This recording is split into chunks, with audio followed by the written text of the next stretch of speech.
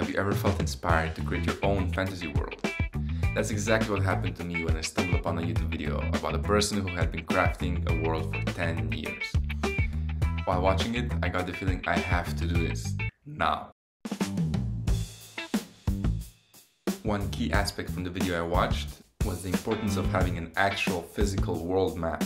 Usually I start super micro with individual characters, plot lines and stories.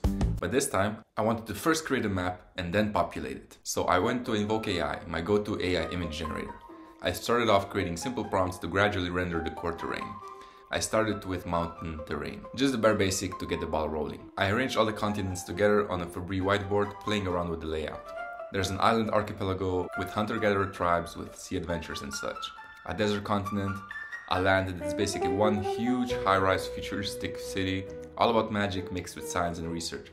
I also wanted an air of mystery, something that's more unknown and ethereal. So I did two areas that are meant to be shrouded and isolated. First, the Spirit Land, right in the middle of the map.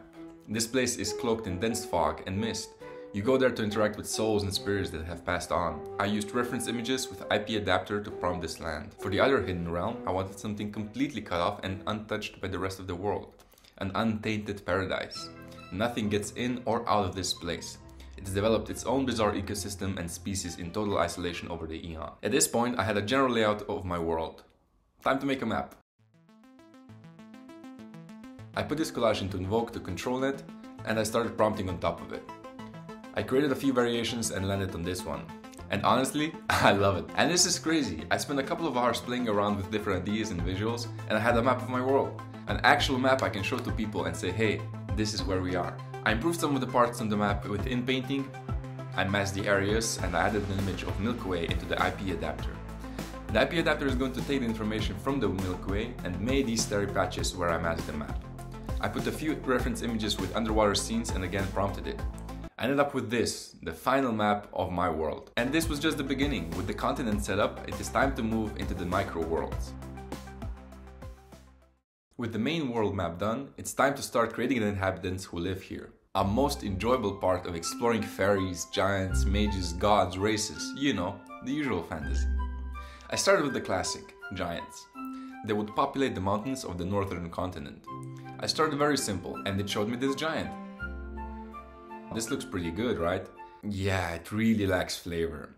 I wanted to be of nature. I actually wanted to be parts of nature that come alive as if a piece of a mountain just broke off and started moving. I made a few variations and these still looked very human. I wanted them to look like jagged slabs of rock and boulders with limbs.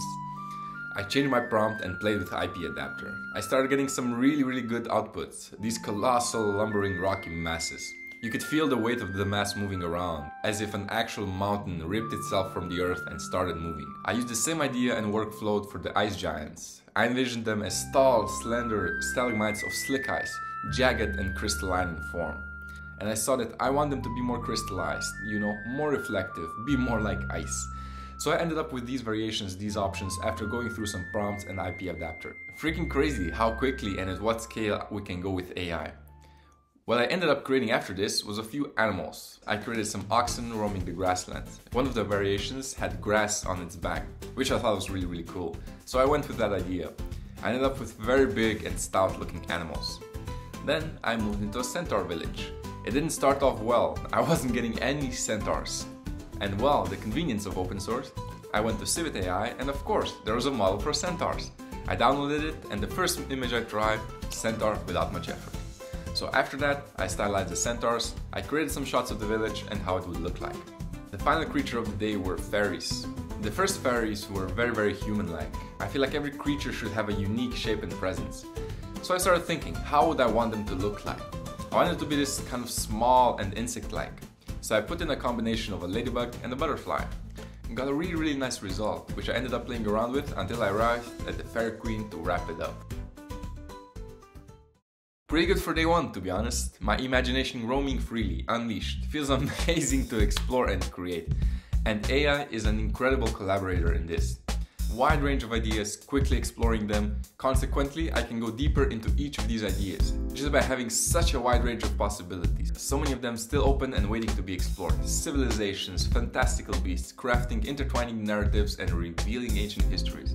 The possibilities are endless, and that is why I love world building. If you're inspired to start your own world building project, I encourage you to begin by simply mapping out your vision. Whether it's a single location or a broad geography, use AI to explore your ideas and transform them into vivid images that you can build upon. This is just day one of building a world with AI. I have a lot more coming and a lot of interesting places we are going to visit. If you want to see them, subscribe. And with that, keep creating and always remember to have fun.